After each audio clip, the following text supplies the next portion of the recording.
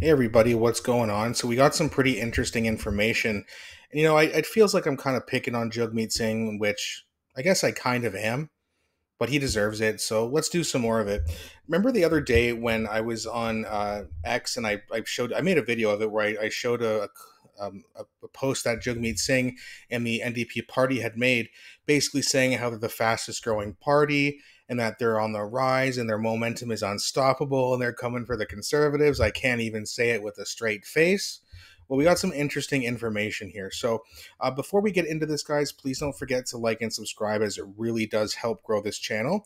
Also, don't forget to leave your comments in the comment section because it also really does help uh, with the client, sorry, uh, channel engagement. And I also do enjoy the engagement going back and forth with you guys as well.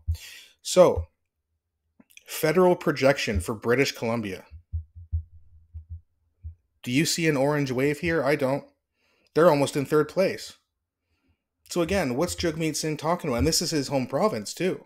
And I have something very interesting to tell to tell you about when it comes to his specific writing in just a minute here. But in terms of the federal projection, BC is 46% conservative, 23% NDP, and Liberals only at 21%. 33 seats for the Conservatives, five for the NDP, and four for the Liberals. In British Columbia, where generally the NDP does extremely well. Well, what have they done?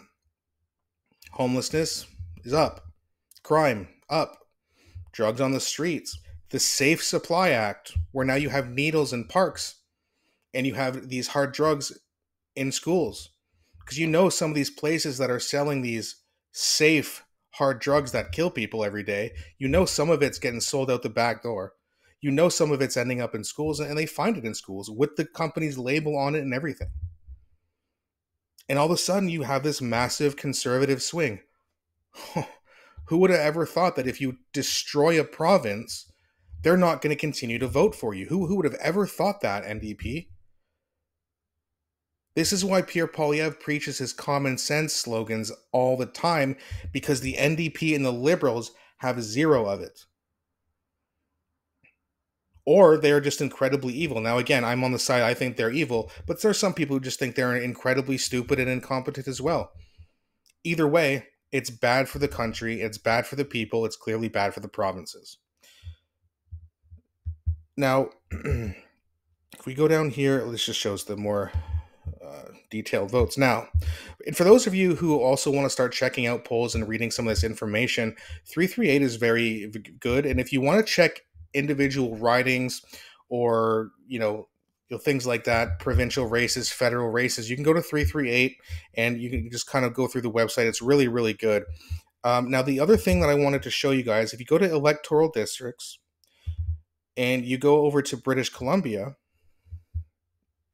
and I'm sorry, if you scroll down here, it'll actually show you the writings and who it's, you know, CPC safe, like it's going to go to the conservative, there's toss ups, there's liberal leaning. Well, Jagmeet Singh has a riding in British Columbia. Guess which one it is? It used to be Burnaby South, but then there was some, some uh, bo- uh, boundary changes and they kind of renamed his riding. It is now Burnaby Central. Let's have a look.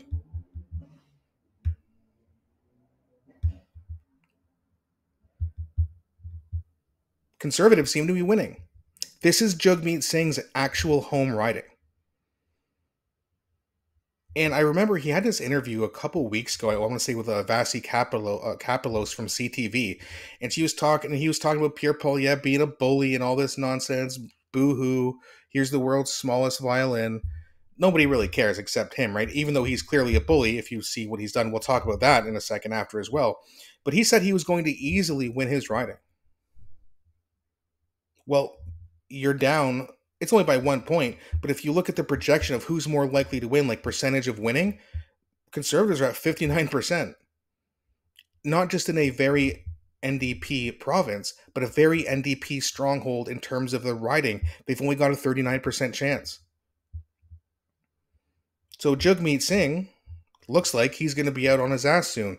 Not before he gets his pension, of course. There, there's no way this is going to happen, especially with this. I mean, when he said that he was going to easily win his riding, that's basically like the one and only way where I actually believed him. I was like, yeah, of course, because it's super liberal, super or super NDP rather. Uh, of course, he's going to win his riding. There's no way he doesn't. Well, it actually looks like he's going to. Now, I just want to also, you know what? Let me just pull up my phone here because I was looking at something on my break at work here. Because I just I forget the guy's name, but there's a guy who's in the Conservative Party who's running in this riding. His name is Dharam Kajal. I don't know if I'm pronouncing that right, but either way, this guy apparently I, I don't know anything about him. I didn't know his name until just now, and uh, but apparently he's making some major strides, and he is very likely, or I don't know if it's very likely, but he's got a pretty good chance of taking out Jagmeet Singh, which I think is better for all of us. I think we'd all agree on that. So apparently, Jagmeet Singh's tough guy appearance and you know, getting in a, a, a heckler's face on the street with cops around. I want to stress that. I want to make that very clear. He didn't do it to be a tough guy. He did it probably to get the guy arrested if he repeated what he said, or at least try to get the guy arrested.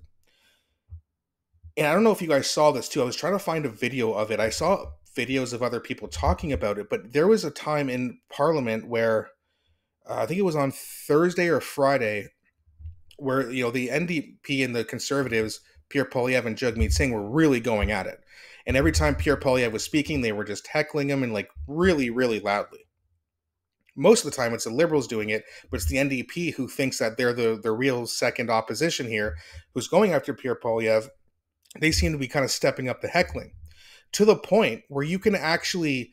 Uh, apparently, there's video of it. I haven't seen it yet, but Jagmeet Singh actually got up off of his seat and he walked down into the aisle and told Pierre Poilievre to like come meet him, as if he wants to fight him or some shit like that. And you can see Andrew Scheer, uh, Larry Brock, and Pierre Poilievre all basically looking over like, "Come on, like go ahead, do it." Like, come on, tough guy. Like they're not scared of him.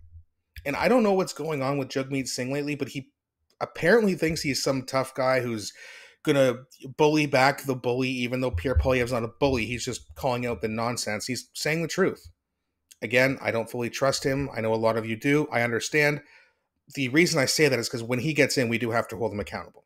However, I also believe that he is not intimidated by Jagmeet Singh. I don't think anybody in their right mind would be intimidated by that guy. He's a clown, he's a coward, and he's corrupt, just like all the hecklers say.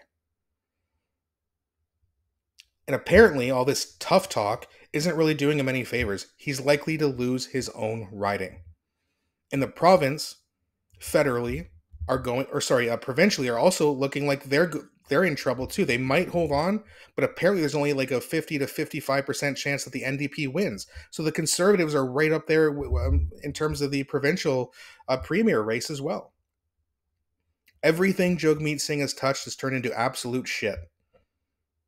So if you do support the ndp just remember this and just remember that he's currently still holding up Justin Trudeau, propping up Justin Trudeau.